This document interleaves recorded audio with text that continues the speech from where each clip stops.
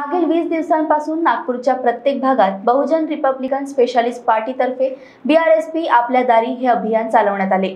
या दरम्यान पीच्या कार्यकर्त्यांनी घरोघरी जाऊन नागपुरातील नागरिकांच्या समस्या जाणून घेतल्या.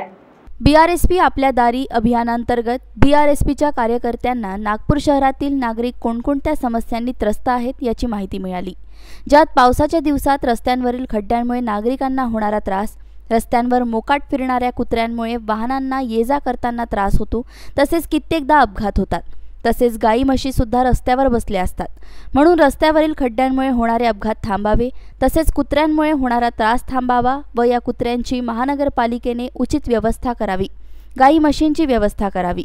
व दुसरीकडे डॉक्टर बाबासाहेब आंबेडकर यांच्या धम्मशताब्दीच्या पर्वावर एकोणवीसशे एक्क्याण्णवमध्ये नागपूर महानगरपालिकेने धंतोलीमध्ये डॉक्टर बाबासाहेब आंबेडकर यांचे स्मारक बनविण्याचा प्रस्ताव पारित केला होता. परंतु आज तीस वर्षे लोटूनही ते स्मारक अद्याप बनवण्यात आले नाही. येत्या सहा डिसेंबरच्या आधी नागपूर महानगरपालिकेने यासंबंधी लोकांना आश्वासन द्यावे अशी मागणी Bahujan Republican Specialist Party Vidarbha महासचिव रमेश पाटील यांनी केली आहे. तसेच महानगरपालिकेला निवेदन देखील दिल्या जाणार आहे व मागण्या पूर्ण न झाल्यास तीव्र आंदोलनाचा इशारा रमेश पाटील यांनी दिलाय. मैं Ramesh Patil Bahujan Republican Socialist Party Vidarbha प्रदेश का महासचिव आज नागपुर शहर की ओर से बहुजन रिपब्लिकन सोशलिस्ट पार्टी द्वारा पिछले 20 दिनों से नागपुर शहर के कोने कोने में बी आर बीआरएसपी आपला आपल्यादारी ये अभियान चलाया गया।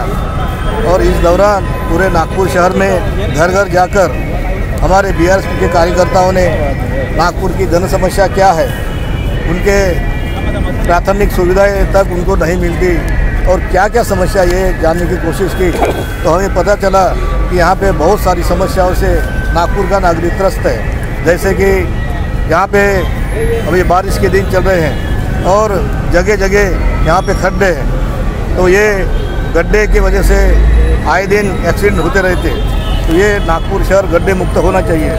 दूसरी चीज़ है कि यहाँ पे जो याला मराठी मुझे मुकट कुत्रे म्हणतात ऐसे पालतू कुत्ते जो जो नहीं है, जो आवारा कुत्ते हैं, ये आवारा कुत्तों की वजह से यहाँ ट्रैफ़िक भी डिस्टर्ब होता है और कई एक्सीडेंट हो रहे हैं। तो ये आवारा कुत्तों का बंदोबस्त नागपुर महानगर पालिका ने करना चाहिए। उसी प्रकार ये आवारा जानवर जो है, गाय है, भैंसे है, ये भी रास्ते में बैठे रहते हैं, जिसके कारण ट्रैफ़िक को दिक्कत होती है। तो ये नागपुर महानगर पालिका ने इसका बंदोबस्त करना चाहिए। दूसरी चीज़ है कि डॉक्टर बाबा साहब अंबेडकर जन्म शताब्दी के अवसर पर उन्नीस सौ इक्यानवे में जब बाबा साहब के जन्म को सौ साल पूरे हुए हैं, उस जन्म शताब्दी वर्ष के निमित्त नागपुर महानगर पालिका ने एक प्रस्ताव पारित किया था कि हम नागपुर में धनतौली में डॉक्टर बाबा साहब अंबेडकर का स्मारक बनाएँगे।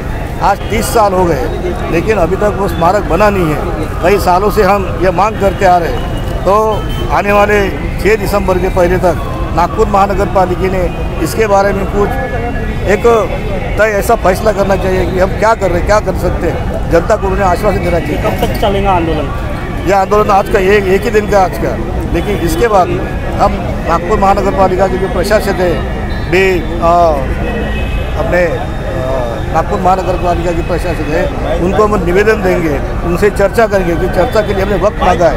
और ये ये अगर ये मांगे हमारी मानी नहीं गई और इसके बारे में अगर फैसला नहीं किया गया ये मांगे नहीं सुलझाई गई तो इसके बाद हम तीव्र आंदोलन करेंगे मोर्चा निकालेंगे और आंदोलन करेंगे। व्हीकेबी न्यूजसाठी कॅमेरा पर्सन रोशन बोकड़े बोकडेसह ऐश्वर्या शिंदे यांची report Nagpur is famous for संतरे टाइगर ज़ीरो माइल और साउजी खाना। और साउजी खाने को उसका असली स्वाद देते हैं साउजी मसाले जिससे बनता है ऑथेंटिक साउजी खाना। मसालों में मसाले अहिरकर ग्रुप के साउजी मसाले।